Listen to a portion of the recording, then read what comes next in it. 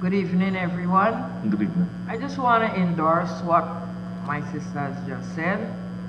And as you build that center, there are a lot of things that you could teach them. Their Yes. craft. You doesn't have to get computer.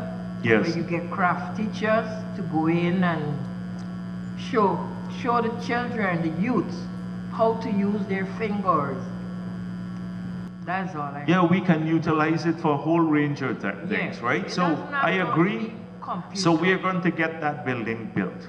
We're going to Yeah. get it built, and um, we should, we do move swiftly on this. I'll speak with the Minister of Whenever Finance. get on, on course and it finish, I would volunteer my time Yeah. to go in and show them a little. Yes. I know because I do craft. And we can get people like part-time employees, some different people to go in, yeah. Yes.